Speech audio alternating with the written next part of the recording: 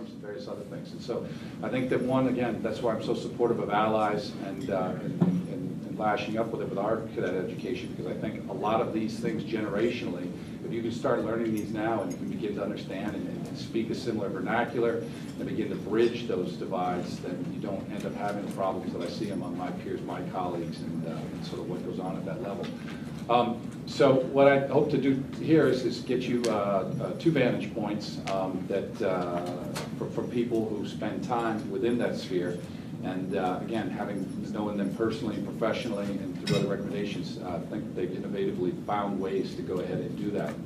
Um, So we'll start with Mina Chang, um, who's the CEO of uh, Linking the World. Uh, She'll highlight some of her programs and things she's doing, both in the world of uh, uh, unmanned aerial vehicles, um, particularly as well as some of the other things she's done with uh, some programs with the Navy uh, in response to, to humanitarian assistance and disaster responses uh, all over the world. Um, She fo- an appreciation sort of from, from that, uh, uh, from a, what a, a very large administration, excuse me, a uh, enterprise um, at the federal level can do and how it can work bridge across those things. So we'll start with me and let her present, and then afterwards we'll go to Melissa and we'll go to Q and A. So please, Mina, thank you. Thanks so much for having me. It's such an honor and a privilege to be among such high caliber leaders that are working to address the challenges and the opportunities in uh, coordinated humanitarian action, especially looking at the relationship between civilian and military actors. I personally truly believe that these relationships will lead the United States and the world into a more stable and um, secure, resilient future. I serve currently as the CEO for an international humanitarian aid organization called Linking the World. We were founded in 1997 and currently operate in 43 countries. Um, and we're headquartered in the great country of Texas. we uh, operate in disaster zones, uh, conflict zones. We're in places like Somalia, Kenya, Myanmar, uh, a school in Afghanistan, and we work in developing nations as well. So in our world today, one in eight people still live in extreme poverty and experience extreme hunger. Now, outside of the humanitarian imperative, uh, we understand that this contributes to instability and is a breeding ground for conflict. So in our world today, as an organization, we understand that we must be open to new models for, um, for collaboration, cross-sector collaboration, and advanced response methodologies. And for us, it's a high priority. So coordinated civil-military operations in a disaster zone is very different from an armed conflict zone.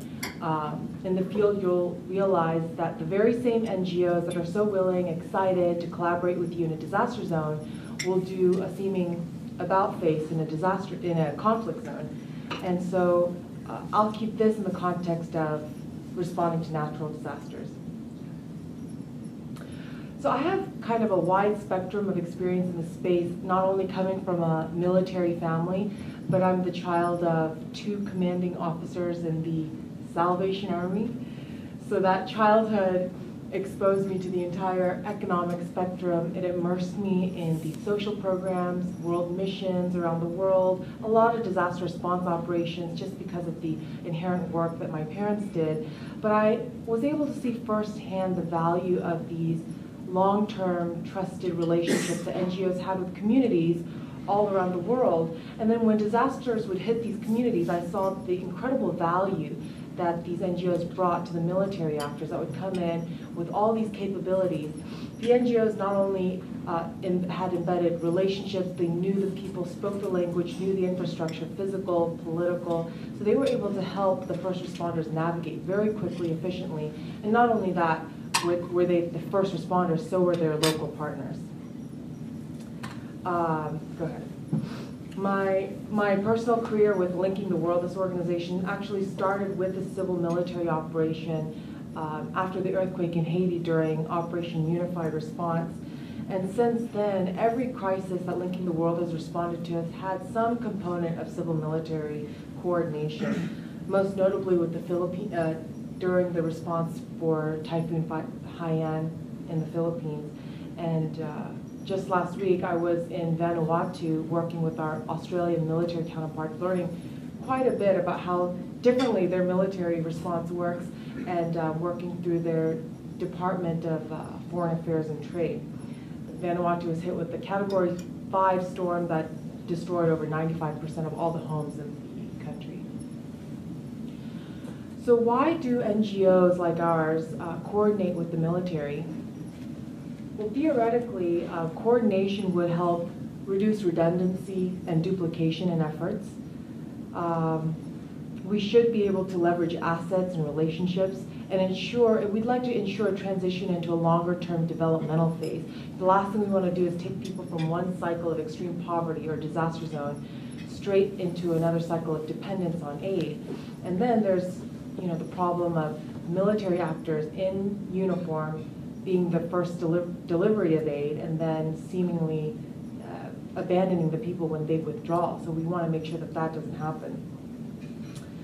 Um, also, some NGOs who believe that true neutrality is a farce will argue that the imperative for coordination is really a nat national security issue, that if we do not act in a post 9-11 world, then we're leaving a space for extremist groups to come in and target vulnerable populations in order to influence with their ideology.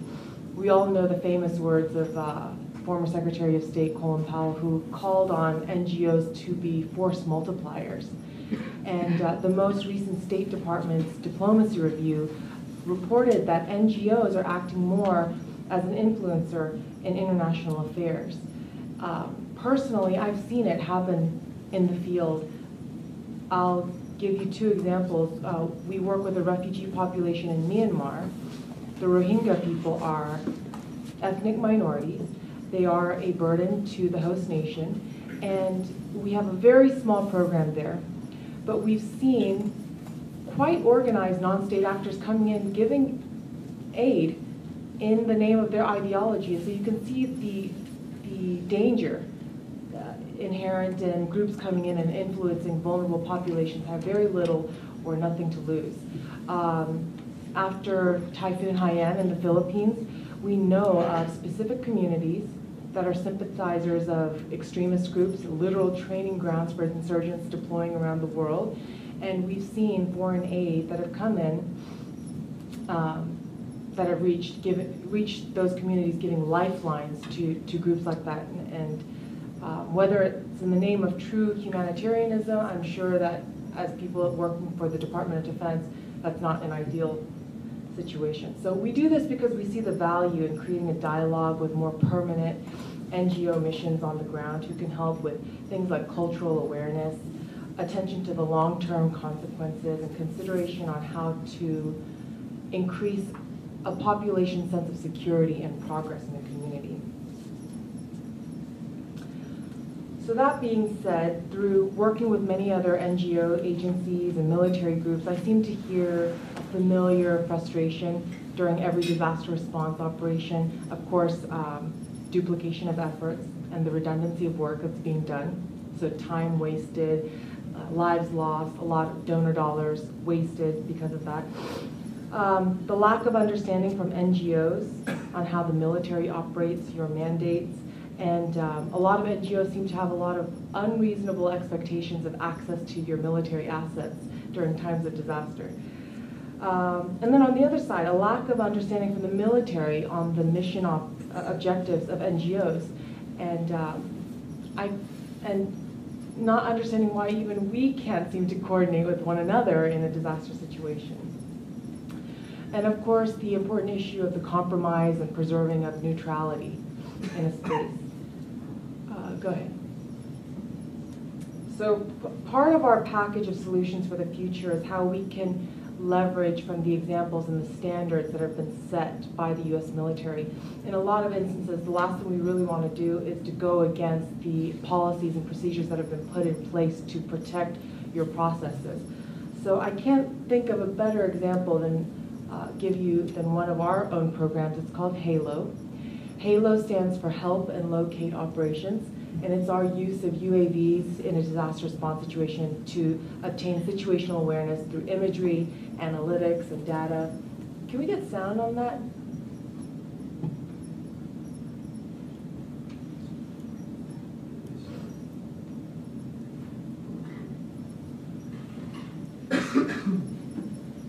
You know, after every disaster, the Department of Defense are able to deploy their UAV assets and satellite imagery to gain high-quality crisis maps.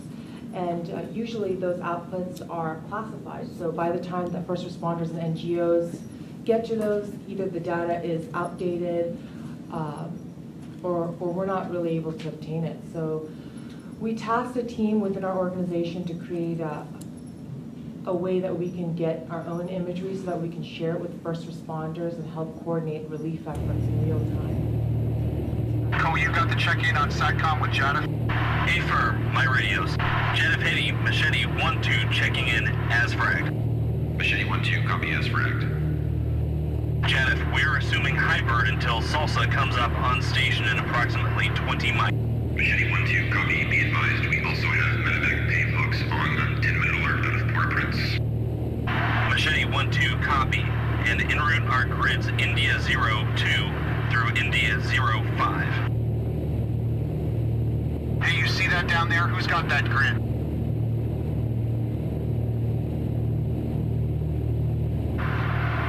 Uh, according to the airspace control order, Foxtrot 04 is assigned to that NGO Halo.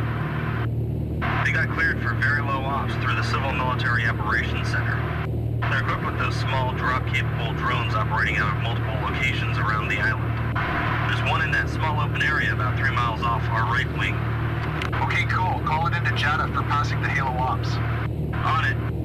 Janifati Machete 1-2 in-flight report. Say when ready to copy. Machete 1-2, go with in-flight report. Janif, Machete 1-2, current grid location. Echo 04, 2,500 feet. Current observation, multiple downed power lines, washed out roads, multiple people in the area moving north. Request pass to Halo Ops, status of Echo 04. Recommend priority investigation Echo 04 and surround. Using Halo UAS for real-time sequencing of aid. Machete, copy all. Will relay to Halo Ops. Hey, from all the reports I've heard, those Halo Ops guys have been all over this mission. On time, on target, right down in the weeds. Real force multipliers for this mission. I heard say we can use the help getting our grid percentages up there. Even in post-disaster scenarios, UAVs can do things like we can put an infrared and thermal imaging to mitigate the spread of disease by measuring high-grade fevers in a refugee camp. Or we've been using it to test, uh, to detect landmines, and now we're looking to try to uh, clear landmines. And of course, um, if we empower local communities that are high risk, we can really help them with their disaster preparedness initiatives. Um, and then with UAVs, a great a scenario of a great civil military partnership could be exploring the use of um, decommissioned governmental assets, such as like the KMAX or the Ares platforms, which would help NGOs like ours raise our, our um, payload capabilities. I think KMAXs can carry like 5,000 pounds. Right now, drones that I know of that any NGO can operate carries about 50 pounds.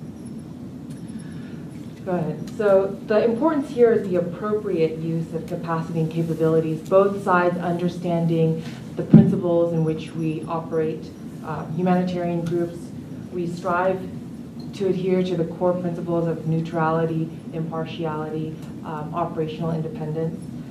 Um, what's clear is that with the constant rise of political instability, poverty, and natural disasters, I believe we must work together to stand united uh, in the face of more frequent and complex humanitarian emergencies. And I see this as an opportunity for us to not only continue saving lives, but to, as we share these friendships and relationships around the world, to foster.